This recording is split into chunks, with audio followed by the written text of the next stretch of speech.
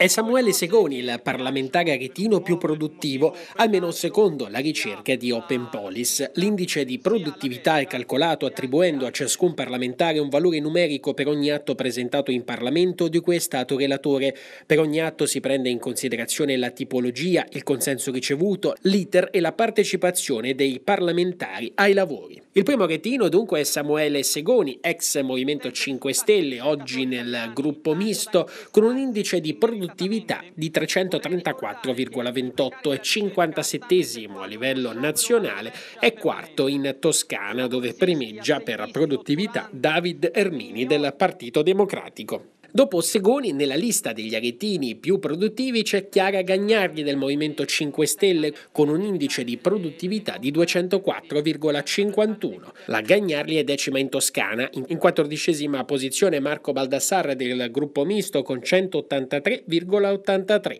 Al ventunesimo posto Maurizio Bianconi 106,01. All'ultimo posto degli aretini troviamo Marco Donati del Partito Democratico con un indice di produttività di 70. 72,22, seguito da Maria Elena Boschi. Tra i senatori invece Donella Mattesini si piazza al quattordicesimo posto in Toscana con un indice di produttività di 119,72. La senatrice del Partito Democratico si trova al 183 posto tra i senatori più produttivi.